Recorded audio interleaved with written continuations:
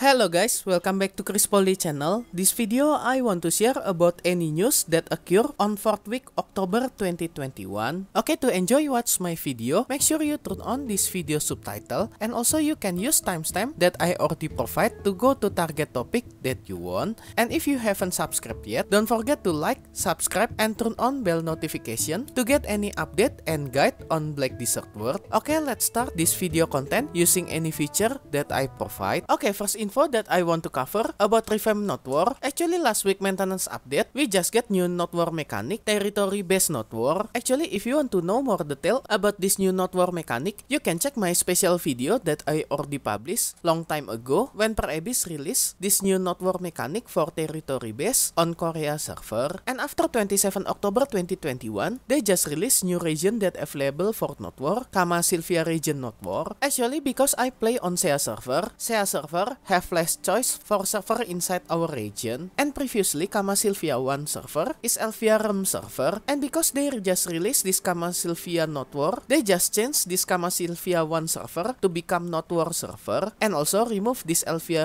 status from this Kamasylvia 1 server. So on SEA server, we just only have 3 server that have Elvia But most of people exclude this Arsia server to get efficient grinding process. We don't need to involve with PvP content during day grinding season, and actually most of SEA server people got disappointed with this removal for this Elvia realm from Kamasylvia 1 server because this server already changed to become Node War server. But I hope if Pearl Abyss didn't want to add more server on SEA server, I hope this Elvia realm still okay on Node War server and all monster will disappear when this Node War occur. But I didn't know what happened with another server region after this Kamasylvia Node War occur. So if you play on another server outside SEA server, server, let me know in this comment section if your realm also got removed from one of your server and switch it to become Node War server. Okay, next if you check your per shop and go to a hot and new and go to event tab, make sure you didn't miss this Halloween Silver Mad Scientist Marni Adventure Box because you can purchase this package using 100 million silver to get this Mad Scientist Marni Adventure Box. Actually, this is RNG box that you can obtain one of this item on this list. And also you will get this Mad Scientist Marni Flask, one piece. And as you can see, for this Mad Scientist Marni Flask, actually this is exchangeable item. But sadly, if you didn't spend any pearl, we only can get this Mad Scientist Marni Flask, one piece, from this 100 million silver purchase only. And to get another piece for this Mad Scientist Marni Flask, you need to purchase this Mad Scientist Marni Adventure Box using some pearl. So if you free to play player, just consider this item is Cron Stone 20 pieces. But but I recommend you to exchange it later after this Halloween event end. Maybe in future Pearl Abyss will give you another Mad Scientist Marni Flask, so you can exchange it with another item on this list. And if you watch my previous video about sneak peek next maintenance update at 27 October 2021, I also mentioned about cosplay swap outfit that will release after this maintenance done. And you can get this outfit from this Mad Scientist Marni Adventure box. If you lucky, you will get this cosplay party outfit box, one piece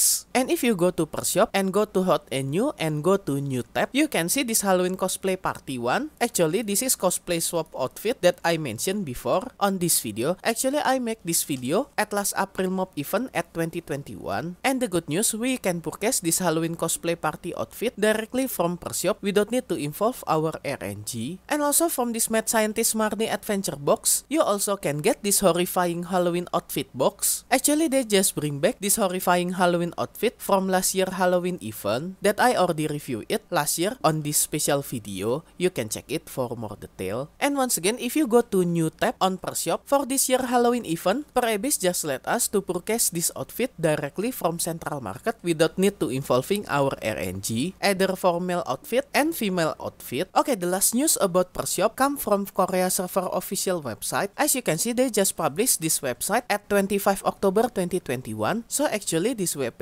release before this week maintenance start. If I translate this website, actually this is notice to increase amount of per product and number of item extracted from per item. And this update on Korea server will implement at 27 October 2021 after maintenance. So actually Korea server already got this update after this week maintenance. Once again, Pearl Abyss just increase Noble Valk's Cry and Cron Stone that you can extract from any outfit costume. As you can see, this is example for premium outfit set. And because because they increase Valk's Cry and Cron Stone extraction, they also will increase price for its outfit that can be purchased on central market. As you can see, this is example for Korea server. Actually, this outfit costume price from central market will become nearly double than before. But be noticed, this is sample from premium outfit box that sold on central market on Korea server. So the exact value for this price might be different from each server, but we only need to see its increase in percent. This is increase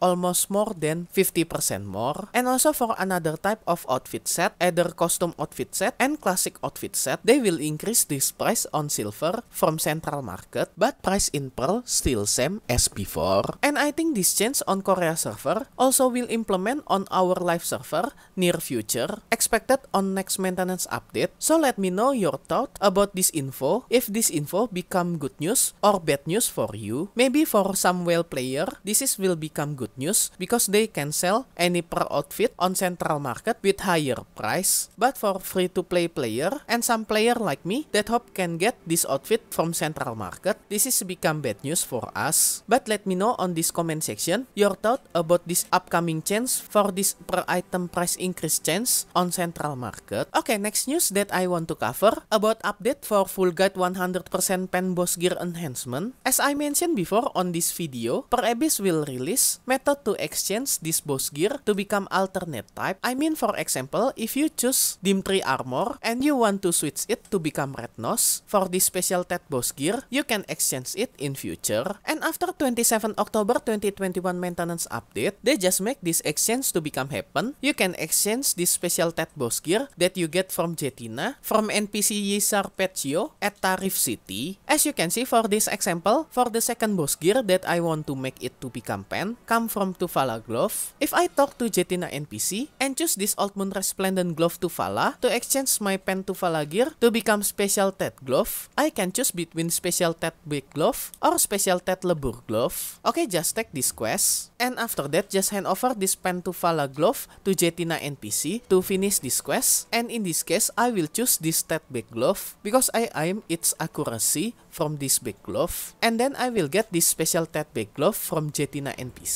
And actually, if you talk to Jetina NPC, after 27 October 2021 maintenance update, Jetina NPC will give you interaction. If you choose this interaction, I exchange the wrong boss gear. Jetina NPC will explain you. If you just wrong choose previously for choosing this gear, you can go to bring this gear to Alchemist Yisar Petsio in Tarif City and he will let you exchange it for a different piece of boss gear but only once. Okay, I just bring this special Tet boss gear that I got from Jetina NPC that still have reform level 0 to this Tarif NPC and meet this NPC, Yisar Petsio. Actually, this NPC located at Mediah region, especially on Tarif City. As you can see, this is the NPC, Yisar Petsio, on this location. If you talk with him and take the main quest, he will offer you this special quest, one exchange per family, Old Moon Resplendent Glove. If I take this quest, he will exchange your special Tet boss gear from Jetina NPC to another type special Tet boss gear, specific for its slot, because previously I have this special Tet big glove from Jetina NPC. So when I want to exchange it, he just offer me this special Tet Leebur glove. But be noticed, this quest you only can do it once every gear slot per family. And be noticed, this exchange only for exchange non-upgradable piece for the special Tet boss gear from Jetina NPC. So this chance to exchange your special Tet boss gear to become another type, this is only for non-upgraded special Tet boss gear that still didn't have any reform stone. But I'm not sure about this statement. My question for this exchange, if our special Tet boss gear already got some reform level, can we still exchange this special Tet boss gear to become another type from this NPC Yisar Petsio? Because if we still can exchange this special Tet boss gear to become another type through this quest, and our special Tet boss gear already have reform level, I didn't know what happened next. Can we still can get this quest or not? So if you have experience to exchange this special Tet boss gear from Jetina NPC to this NPC Yisar Petsio on Tarif City, you can comment on this comment section because I cannot test this content to exchange it. So let me know on this comment section if you already have special Tet boss gear with reform level and you want to exchange it to another type. And special thanks to all my membership for direct support via Patreon, Karya Karsa, and YouTube membership and also my current member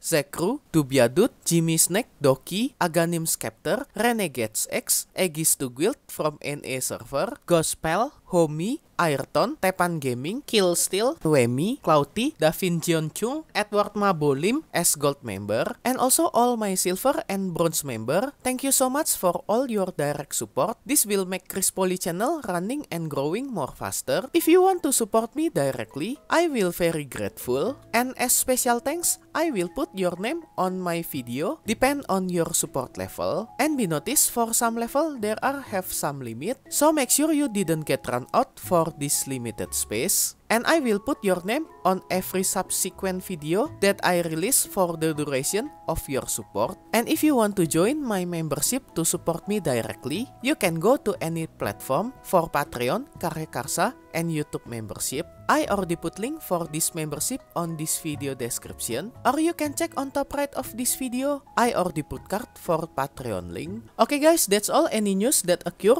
on 4th week October 2021. Hope all this info can be useful for you. If you like this video, you can like and subscribe to my channel for another guide and update. Thank you for watching. See you next time.